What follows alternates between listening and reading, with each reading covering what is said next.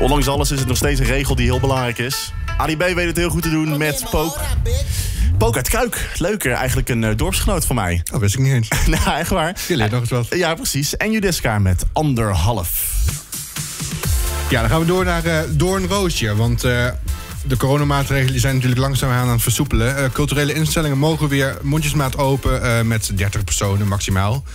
Daar is veel kritiek op geweest, maar bij Doornroosje zagen ze dat als een kans om weer een feest te gaan organiseren. aan de telefoon hebben we Freek Lamers van Doornroosje. Freek, goedenavond. Goedenavond. Goedenavond. Um, hoe, gaat, uh, hoe gaat het in het algemeen met Doornroosje op dit moment, uh, nu het al zo lang gesloten is? Uh, ja, het is natuurlijk vervelend, want wij mogen natuurlijk, kunnen natuurlijk niks doen in deze situatie. Mm -hmm.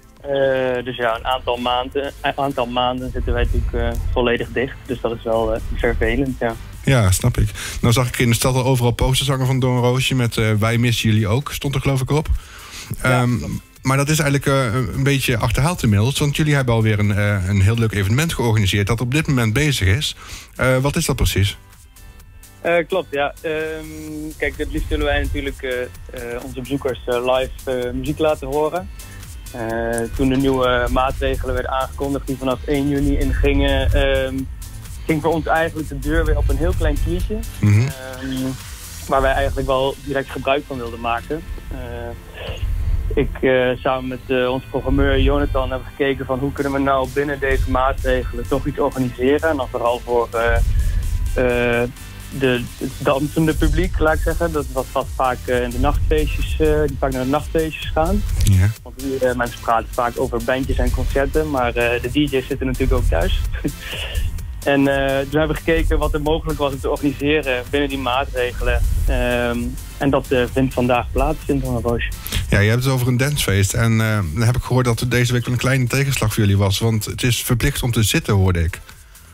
Klopt, klopt. Ja, in eerste instantie stond in de maatregelen die specifiek voor concerten gelden, of tenminste poppodia, stond niet expliciet genoemd uh, of het zittend of staand publiek moest zijn. Mm -hmm. Dus in eerste instantie wilden we eigenlijk gewoon bij iedereen een pakken maken, een cirkels maken van dat je een meter had om zelf uh, toch wel te dansen. En dan toch nog anderhalve meter afstand kon houden tot, tot je medebezoeker. Ja.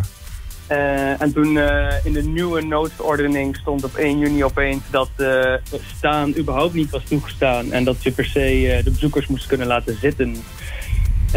Dus toen hebben we uiteraard even getwijfeld van moeten we dit wel doen. Want het is natuurlijk toch wel een hele andere ervaring. Ja. Maar ja, we wilden bezoekers toch weer die live muziek kunnen bieden. En we wilden ook laten zien van dat het eigenlijk heel gek is. Kijk, wat is het verschil of iemand binnen zijn cirkeltje staat of zit? Dat is natuurlijk een uh, gekke regel eigenlijk. Dus we willen toch ook laten zien van, uh, kijk, het kan wel, maar het is eigenlijk natuurlijk niet haalbaar op deze manier. Nee. Dus uh, nu zitten er 30 mensen in een zaal waar normaal 1100 mensen in gaan, lekker op hun stoeltje te genieten van verschillende DJ's. Ja. ja, en elke 19 minuten wordt er gewisseld, begreep ik. Klopt. we hebben natuurlijk gekeken, omdat we, we kunnen niet echt de, de bar opengooien of de toiletten, omdat daar weer heel veel regels aan zitten. Ja. Uh, daarnaast uh, hebben we natuurlijk een beetje als grap gekozen voor de 19 minuten DJ-set in combinatie met COVID-19. Ik begin ook te snappen. ja, ja, ja. En dat is natuurlijk ook wel een, een beetje een maximale tijd dat mensen rustig op een stoel kunnen zitten, net een beetje een biertje op kunnen drinken en dan mogen ze weer de zaal verlaten en dan is het, uh, wordt er plaats gemaakt voor de volgende groep. Maar ik heb even een vraagje tussendoor. Uh, want jullie zijn er nu uh, vanaf vier uur mee bezig. hoe pakt dat er nu toe uit? Want ik kan me voorstellen dat het wel lastig is als je bijvoorbeeld op een technoplaat moet zitten. Ja, zeker. Dat was voor ons natuurlijk ook wel spannend in het begin. Van hoe gaat de bezoeker hierop reageren? Maar dat is eigenlijk, pakt zeer positief uit.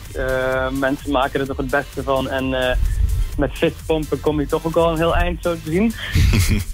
Um, dus ja, tof. En mensen willen ook gewoon graag weer de deur even uit. En uh, gewoon ook de spanning beleven van uh, een avondje uitgaan. En ook al is dat dan maar 20 minuten, dat is uh, wel in ieder geval de eerste stap in de goede richting. Nou, ondanks al die maatregelen die erbij komen kijken, smaakt het wel een beetje naar meer? Kunnen we meer van dit soort dingen verwachten? Um, nou ja, of wij, of wij direct veel meer gaan doen in deze setting. Dus met echt 30 mensen op een stoel dat moeten we even bekijken. Dat is natuurlijk ook evalu evalueren na deze avond. Ehm, maar we willen zeker wel kijken van wat de mogelijkheden zijn. En hopelijk krijgen we ook iets meer ruimte. Dus dat we straks wel dat, we, dat ze de maatregelen voor ons ook opnieuw bekijken. En, en zeggen van misschien van, nou weet je, staan kan bij jullie eigenlijk ook prima. Ja, dan gaan wij zeker, uh, pakken we die mogelijkheden met uh, twee handen aan. Nou, ik ben heel benieuwd. Um, Freek, uh, dankjewel in ieder geval. En ja. nog heel veel plezier vanavond bij de voortzetting van het feest. Um, Oké, okay, dankjewel. Wij gaan gauw door. Um, uh, straks hebben we trouwens nog, moet ik misschien even vertellen, nog een interview met iemand die vanmiddag in de Ziggo Dome is geweest. Bij een soortgelijk iets, maar dat was geen dancefeest, maar een concert.